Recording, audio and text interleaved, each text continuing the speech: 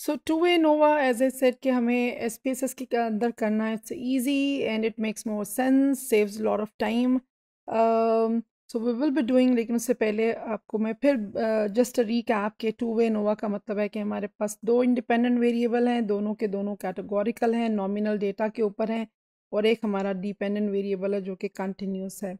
इसके अंदर हम between group indicates that different people are in each of the groups Uh, this technique allow us to look at the individual and joint effect of two independent variables on one dependent variable. So उनके main effects भी हमें बताता है और फिर हमें उनके interaction effects भी बताता है.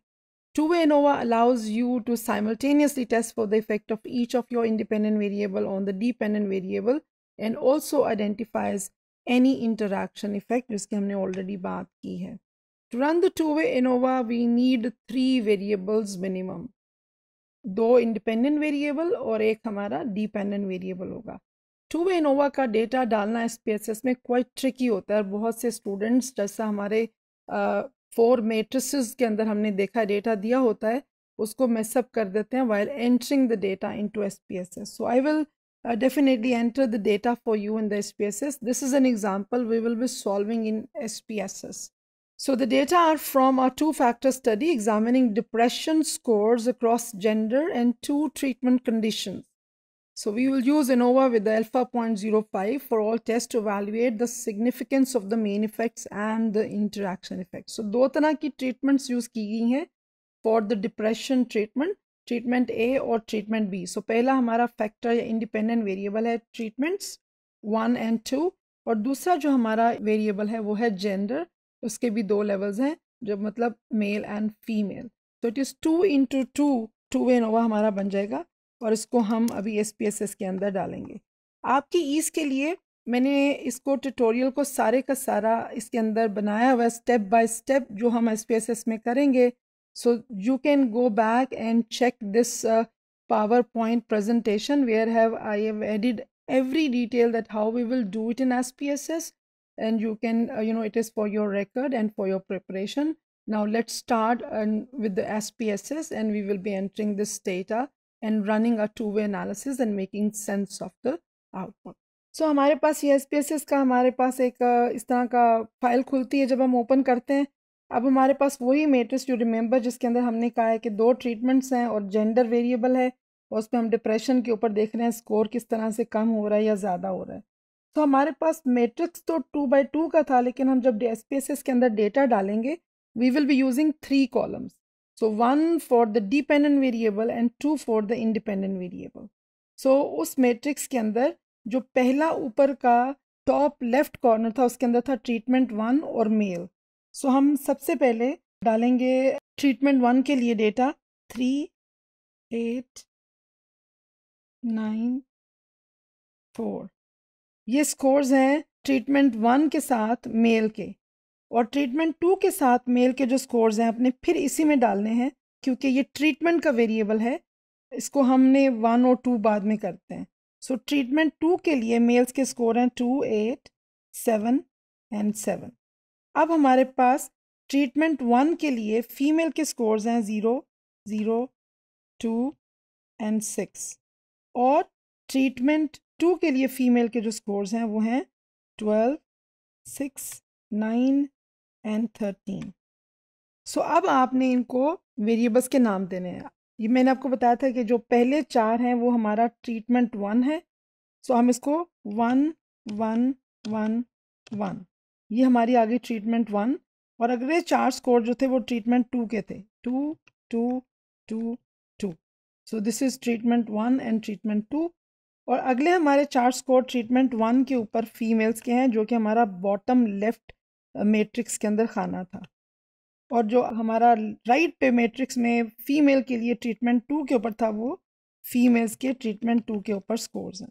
सो ये हो गया हमारा ट्रीटमेंट का कॉलम ट्रीटमेंट टू और ट्रीटमेंट वन फॉर फीमेल्स और ये treatment two and treatment one for males अब हमने इनको जेंडर का वेरिएबल ऐड करना है। तो जेंडर हमारा पहला आठ लोग मेल का हमने डेटा डाला है और अगले में हमने फीमेल का डेटा डाला है आठ का। तो हमने आपको पता है कि पहले भी बताया है कि हम कैटेगोरिकल वेरिएबल के लिए वन टू वन टू ही करते हैं। सो ये हमारे आ गए, अब हम इनके हम नाम दे देते हैं। ये हमारा डिपेंडेंट वेरिएबल है जो कि डिप्रेशन स्कोर है, इसको हम नाम दे देंगे। और दूसरा हमारा वेरिएबल ट्रीटमेंट का है, जिसमें हमने डाला है, हम इसको ट्रीटमेंट का नाम दे देंगे। और तीसरा हमारा जेंडर वेरिएबल है, इसको हम जेंडर का नाम दे देंगे। अब आप देखें तो हमारे वेरिएबल के नाम आ गए हैं डिप्रेशन ट्रीटमेंट एंड जेंडर अब वो डेटा जो हमारे पास दिया हुआ था, वो टू बाई टू का मैट्रिक्स था। अब हमने उसको जब डाला है तो हमने अपने वेरिएबल्स आइडेंटिफाई किए हैं कि हमारे पास एक ट्रीटमेंट का वेरिएबल है, जिसमें हमने वन टू वन टू दो ट्रीटमेंट्स यूज़ किए हैं और एक हमारा जेंडर का वेरिएबल है और ये हमारा डिपेंडेंट वेरिएबल डिप्रेशन के ऊपर स्कोर रनिंग कंटिन्यू स्कोर है जो हमने डाल दिया अब इसी के अंदर जाके वेरिएबल व्यू के अंदर जाके हमने इसको बताना है कंप्यूटर को कि वन का मतलब क्या है और टू का मतलब क्या है। सो so, वैल्यूज़ के कॉलम में जाएँगे और हम इसमें बताएँगे कि वन का मतलब है ट्रीटमेंट वन या ट्रीटमेंट ए और टू का मतलब है ट्रीटमेंट बी यानी हमने उसको सेकेंड मेथड से ट्रीटमेंट दिया। यानी इसमें आप ये भी सपोज़ कर सकते हैं कि ये एक दो थेरेपीज़ हैं जो यूज़ की हैं। ओके कर देंगे। और इसी तरह जेंडर में भी हम जाके कंप्यूटर को बताएँगे कि वन का मतलब जो है वो मेल है और टू का मतलब जो है वो फीमेल है।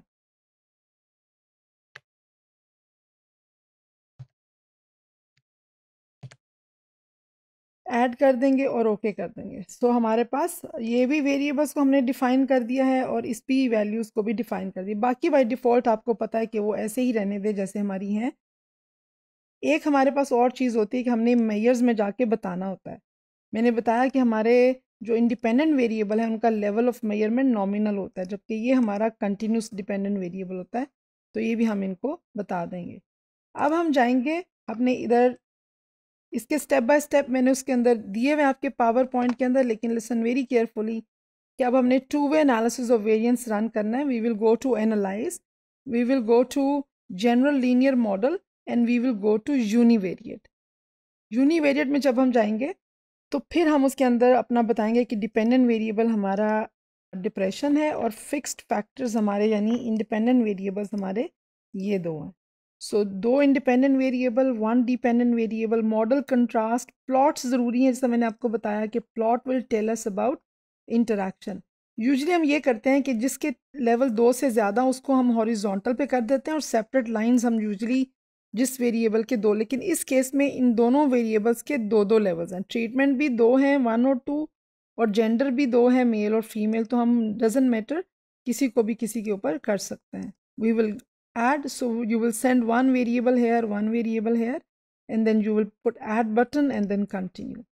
Post hoc हम तब करते हैं जब हमारे ग्रुप्स दो से ज़्यादा हों, लेकिन अभी चूँकि हमारे पास दो ही ग्रुप्स हैं, इसलिए हमें ज़रूरत नहीं है पोस्ट हॉक पे जाने की, क्योंकि पोस्ट हॉक अगर टू से ज़्यादा ग्रुप्स होते हैं, जैसे फ़र्ज़ करें ट्रीटमेंट हमने पाँच यूज़ की हुई है treatment one two three four five and we want to know कि which two are significantly different और बेटर देन द अदर तो फिर हम पोस्ट हॉक रन करते हैं। But here we don't need it save की भी ज़रूरत नहीं है। यूजली सेव हम जब वेरिएबल रिग्रेशन वेट्स हमने सेव करने हो तब हम करते हैं। ऑप्शंस में डिस्क्रिप्टिव ज़रूरी है एस्टिमेट ऑफ़ इफ़ेक्ट साइज़ ज़रूरी है और आपका होमोजेनाइटी बहुत ज़रूरी है। ये तीन चीज़ें डेफिनेटली चेक कर लें। बाकी थोड़ी सी हायर लेवल की हैं इसको हम अभी तक स्किप करते हैं। हम नहीं करते। सो so, सिंपल इन तीनों चीज़ों को चेक करें। दूसरा हमने जब फैक्टर्स एंड फैक्टर इंटरेक्शन की मीन्स डिस्प्ले करना हो तो यूजली जब दो से ज़्यादा ग्रुप्स हम करते हैं, क्योंकि उसके अंदर फिर वो मेन इफ़ेक्ट और फिर उसके पोस्ट हॉक एनालिसिस भी करता है। सो आई थिंक इसको कर भी लें तो वो फ़र्क नहीं है, लेकिन यूजली जब आपके ग्रुप्स दो से ज़्यादा हो फिर हम कर लेते हैं। इसको कंटिन्यू कर देते हैं। I think there is nothing left we will hit the okay button and this will give the output of the two way analysis of variance